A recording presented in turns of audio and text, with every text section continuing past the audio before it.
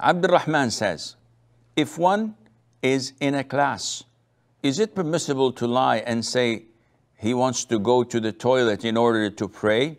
Or is this lying and not permissible?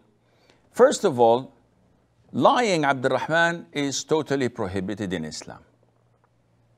So, whatever you do, you try to dodge the issue, the question, you try to give ambiguous answers that can accept two meanings so that you do not lie. But you do not lie. Straightforward? No. Now, in your case, and this unfortunately happens a lot to people who are at work or to people who go to school in non Muslim countries, and they find harassment and they find trouble praying on time because their boss, their teachers, the management would not allow them to do so.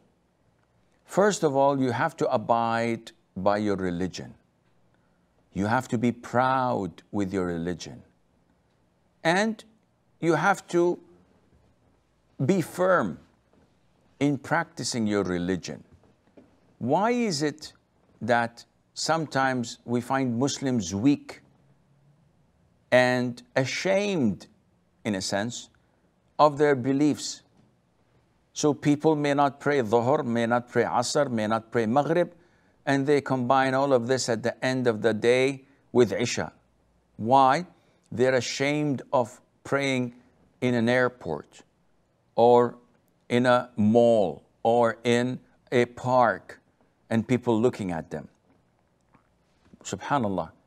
There's no reason to be ashamed of your beliefs unless you're not convinced of it. And this is problematic. So you have to demand your rights. This is part of your belief and religion. Now, for students and workers, sometimes workers or employees write to me and say that we cannot pray.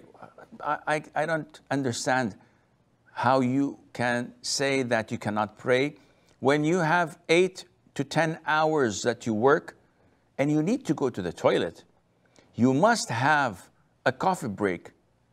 A lot of them smoke and take time off for smoking. You can't have the same five minutes to pray. This is unbelievable, not realistic.